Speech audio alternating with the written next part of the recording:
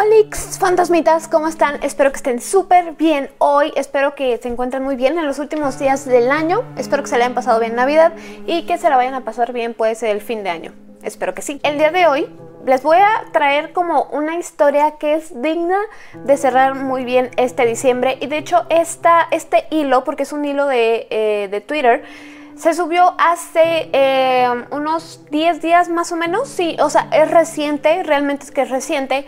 Yo estaba buscando, de hecho, otro caso que les voy a grabar después de este, pero encontré este y dije, mmm, este es bueno como para contarles antes de que termine este año y el siguiente también, pues, pero este es muy bueno, es un hilo de Twitter muy bueno, tanto que realmente él, eh, bueno, quien escribió el tweet es de Buenos Aires y le hicieron varias entrevistas y así podcast y demás para como cerrar su historia o lo que le ocurrió porque sí estuvo muy extraño, ¿ok? Les voy a como meter un poquito en contexto a continuación y vamos a, les voy a estar como que resumiendo lo que es su hilo de tweets, pero les voy a dejar cómo es su usuario y demás por si quieren ir a leer como que uno por uno, escuchar el podcast que él hizo y las entrevistas y demás.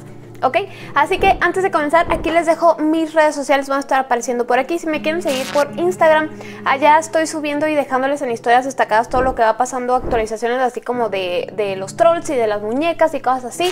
Eh, recuerden checar videos anteriores, también tengo pues Twitter, mmm, TikTok, acabo de subir un video hoy de hecho, y cosas así, ¿ok? Y recuerden suscribirse antes de comenzar para que no les pase lo mismo que a Santi, que es el, el chico de la historia que les voy a contar el día de hoy.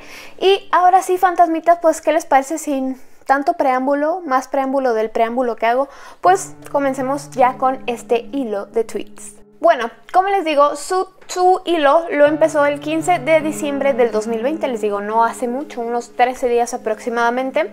Él es de Buenos Aires, él dice que está haciendo aislamiento solo en casa de su papá porque su papá como que salió de viaje y pues por pandemia como que se quedó en otro lado por un buen tiempo, entonces él está solo con el gato en una casa. Él vive como en pues como en un monte más o menos y sí hay más casas, pero están como muy abajo. Es este como estilo de casas de que mm, hay una cada ciertos kilómetros o una cosa así. Eh, está a ciertos minutos de la ciudad, o sea, sí está como alejado. Entonces es por eso que pasan este tipo de cosas. Su papá es un, un arqueólogo, entonces pues él sabe más o menos del tipo de cosas que le ocurrieron y pues bueno, ahora sí. Vámonos directo acá. Como ven, su usuario es Santi Haber o Santi Haber o no sé cómo se pronuncia, pero bueno, aquí se los voy a dejar por si ustedes lo quieren ir a ver o les puedo dejar el link directo a lo que es el hilo en la cajita de descripción. Muy bien, entonces dice que justo el día 15 de diciembre, bueno, dice que dos noches atrás, es decir, como el 13 de diciembre más o menos, hubo un temblor en Santiago del Estero y que se sintió hasta donde estaba él, en el rodeo Catamarca. Ok, entonces aquí fue donde todo, todo empieza a ocurrir, ¿ok? Dejó como que información de que sí hubo un terremoto, bueno, un sismo más bien, ¿no? Dice que realmente el sismo o él lo sintió como por dos segundos más o menos, pero es relevante a su historia porque ahí empezó todo. Ahora, él se dio cuenta de que cosas raras empezaron a ocurrir en su casa porque tiene unos adornos en su mesa de centro de la sala, ¿no? Y dice que esos adornos pues se mueven y hacen un sonidito, pero solamente se mueve, por ejemplo, cuando el gatito anda por ahí o pasa alguien y pisa muy fuerte o pues si se mueve, ¿no? Entonces empieza a sonar esas bolitas como si alguien anduviera por ahí caminando y enseguida empieza el terremoto, o sea, después de que suenan, vuelven a sonar porque ahora sí se estaba moviendo como que toda la casa. Eso fue como que el primer acontecimiento que se quedó así como, ok. Dice que sí fue fuerte el sismo, pero pues así como dos, cinco segundos y pues ya, ¿verdad? O sea, realmente no ocurrió nada, él en su casa bien, el gato bien, entonces pues fue así como de que, ok, pues sí estuvo feo, pero pues no, no pasó nada más. Ahora, recuerden que él está solo con el gato en una casa que está hasta arriba, hasta arriba del monte, o sea, más arriba de su casa ya no hay más casas, simplemente hay más abajo una que otra, pero sí con espacios como de varios kilómetros. Entonces no es posible que tenga vecinos, que nadie se meta a su casa como que a robar, porque es muy poco probable que la gente llegue hasta allá, sobre todo como que caminando caminando o en coche y que él no se dé cuenta, porque pues les digo, es la última casa, no está hasta la punta, hasta la punta, pero es la última casa de, pues sí, de lo más arriba que hay en donde él vive. Entonces, pues él dice que duerme eh, con las ventanas abiertas, pero con la tela del mosquitero, porque pues si no se meterían muchos bichos, digo, pues está como que arriba del cerro. Y que esa vez ya era hora de dormir. O sea, después de los adornitos extraños, ¿no? Ya es la hora de dormir y él va como que apagando así como que las luces y justo va entrando a lo que es el estudio de su papá cuando escucha que algo sale corriendo, pero dice que no algo como un ratón, o sea, algo pesado, porque alcanzó a sentir las pisadas. Aquí lo curioso es que dice que esas pisadas no era como un perro o como un zorro, es decir, como, como de cuatro patas, sino que sintió perfecto como estas pisadas eran de dos, así tum, así como si una persona hubiera caminado. Entonces eso fue lo más raro y él se quedó así como que, mm, ¿habrá sido esto así como que como lo sentí yo o no habrá sido como que mi imaginación? Y enseguida llega el, gatillo y que también se quedó así como viendo de dónde venía el sonido. O sea, también como en posición alerta y demás porque también lo había oído y sentido. Eso fue como que lo, pues sí, como que lo primero raro, ¿no? Y bueno, en fin, si ustedes viven solos, hasta el cerro, donde literal, o sea, aunque griten y todo por ayuda, ¿a dónde se van? O sea, no pueden salir como que huyendo de sus casas porque ¿a dónde van? Total dice que ese día durmió con la luz prendida porque pues sí, sí le dio miedo eh, y pues que ya se distrajo con un libro y demás. Total, ya se pudo quedar dormido. Al día siguiente pues mm, el día transcurrió así como que normal y estaba como que tomando su cafecito en así como una terraza que tienen, pero pues ya viendo hacia el exterior de su casa, cuando empieza a escuchar como, como una música, así a lo lejos. Así como, como el aire soplaba, pues de repente lo escuchaba un poco más fuerte y se perdía, pero definitivamente él había escuchado una música. Entonces, bueno, una música, pues sí, una canción, pues. Pensó así como de que, mm, pues tal vez venga como que de alguna casa de más abajo, pero cuando él salió, porque hasta graba un video, cuando él sale y se da cuenta de lo que estaba ocurriendo, de dónde venía esa música, se dio cuenta de que no, no venía de abajo, venía de arriba, o sea, como si hubiera alguien más allá arriba. Y se le hizo raro por lo que les comento, no hay nadie más allá. O sea, él, él es la última casa. Obviamente, él fue como de que, mm, quiero ir a ver qué pasa. Dice que se llevó al gatito porque el gatito es como un perro, o sea, que lo sigue, que le habla si él viene, o sea, todo bien, entonces que dijo, bueno, pues vámonos a hacer una caminata aquí por el cerro. No sé cómo le digan ustedes, si cerro, montaña o no sé, pero bueno, eh, por la montaña, vamos a hacer un camino a la montaña y pues ahí van ellos dos al gatillo y pues de repente, como, o sea, literal es como que los salvajes, sí, como que la naturaleza así tal cual, pues se le iba haciendo como que de repente pesado seguir caminando. Uno, porque pues estaba literal para arriba, estaba muy empinado y pues las plantas y así como que pues se iban haciendo más densas. Entonces le era cada vez como más difícil estar avanzando y avanzando, pero pues que, que se había llevado unas tijeras y demás, entonces como que cortaba un poquito de ramas y ya se le hacía como fácil otra vez caminar. Llega un punto en donde ellos van caminando, el gatito y él. Y el gato dice, mm, mm, yo de aquí ya no me muevo. O sea, fue así como que le hablaba y le hablaba y el gatillo así como de que, mm, aquí yo te espero. Entonces él fue así como de que, ok, pues todo te cargo para que me acompañes. Y lo trató de cargar y el gato como que, pues sí, le gruñó y dice que cosa que ese gato nunca hacía porque pues estaba súper acostumbrado a él y todo. Entonces fue así como que o sea que, es más, que ni siquiera había escuchado que el gato alguna vez hiciera ese ruido. Entonces, pues le dijo así como que, bueno, pues ahí quédate. O sea, si no quieres venir conmigo, pues ahí quédate. Porque pues si tampoco se lo iba a llevar a fuerza y mucho menos si lo estaba gruñendo. Pero se le hizo raro.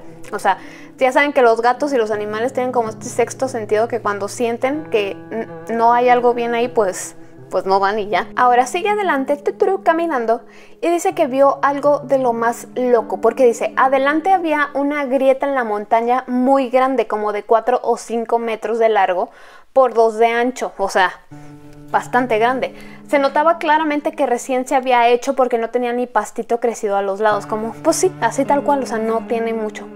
Entonces él pensó así como que, ¿Habrá sido por el temblor? Pues quién sabe. No era muy profunda, dice, pero o sea, grande pero no profunda. Entonces se acerca un poco y dice que encuentra un pedazo enorme de vasija antigua indígena y pone aquí unas fotos que si ustedes lo pueden ver bien, digo, si es una vasija antigua, pues tiene bastante tiempo y pues le encuentra así como que un pedazo grande y hasta dice, acá siempre aparecen pedacitos de alguna cerámica indígena.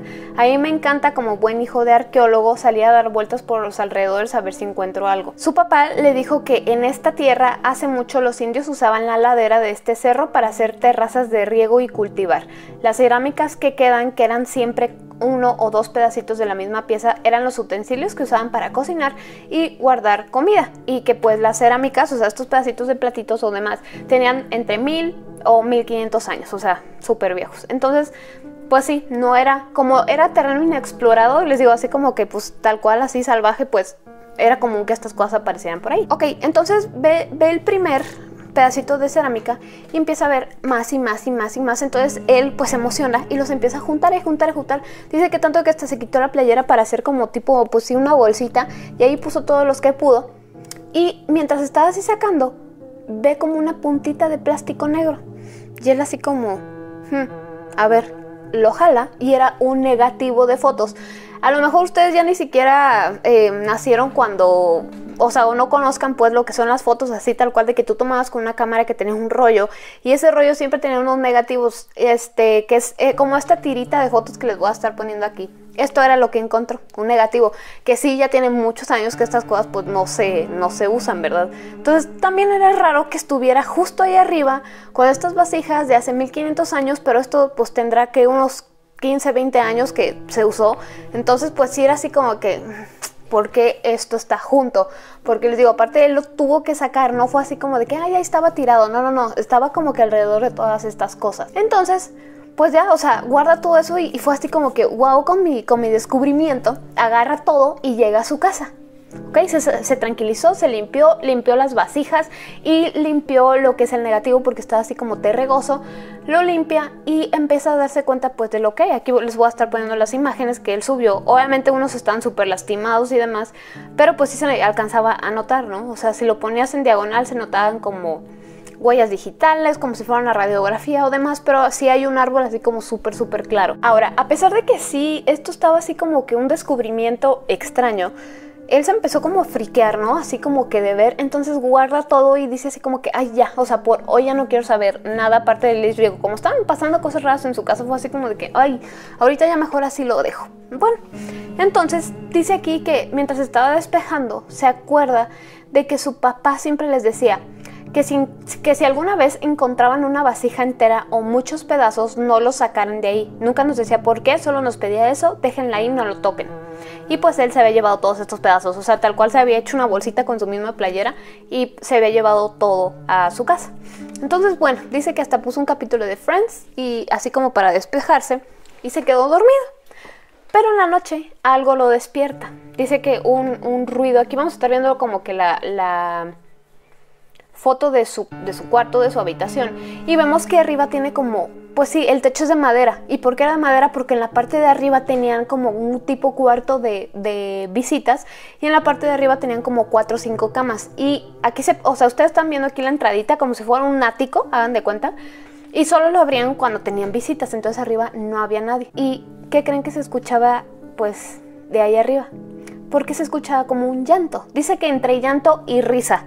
O sea, ya no sabía qué era, pero pensó primero que era el gato y una cómo se sube el gato de arriba, ¿verdad? Entonces definitivamente no era el gato. Después empezó, les digo, como a escuchar que alguien lloraba o alguien se reía.